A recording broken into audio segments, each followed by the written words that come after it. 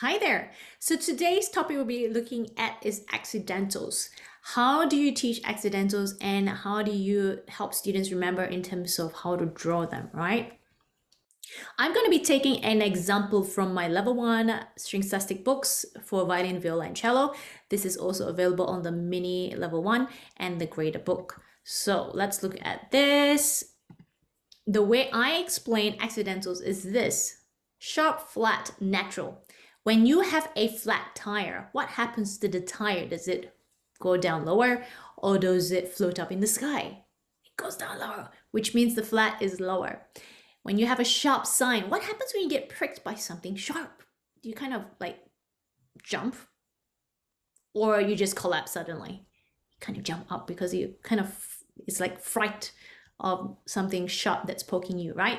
Hence the sharp is higher. Natural means no change or normal. So that's going to be in the middle. It's a neutral person between flats and sharps. So that is how you identify the difference between flat, natural, and sharp. Sharp is higher, flat is lower, natural is normal. So let's look into this, right? How do we draw your sharps and flat signs? A lot of students tend to do this. They tend to draw the notes, the accidentals anywhere they want, whether or not it's through the line or in the space, right? It could be anywhere. This is how I explain it. I use props.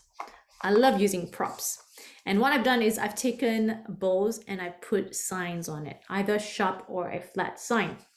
With the sharp and the flat sign, what I'm going to do is this. When you have your lunch or a bowl of noodles, when it's up front here, is it easy to eat? Yes. Okay. When mom puts a bowl of noodles up here, is it easy to eat? I can still eat. Yeah, but is it easy to eat? No. Okay. So when you draw a note and you draw an accidental, you have to make sure that the accidental is right where the head is, right where the head is so that you can easily eat it. So when we look back on our exercise,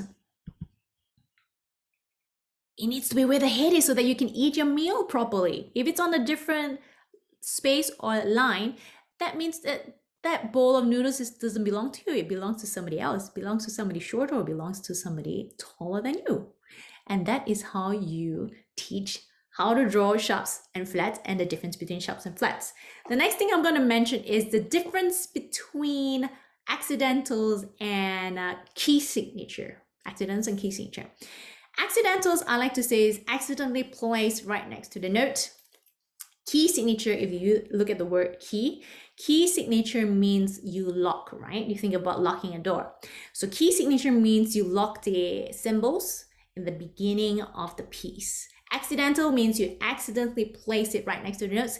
Key signature, key signature means it's locked in the beginning of the piece. So, that, so that's the difference between key signature and accidentals. I hope this is helpful. If you have any other ideas or any different ways that you are explaining accidentals and key signatures, please do share below. Otherwise, like, subscribe, and share this video. Until next time, bye.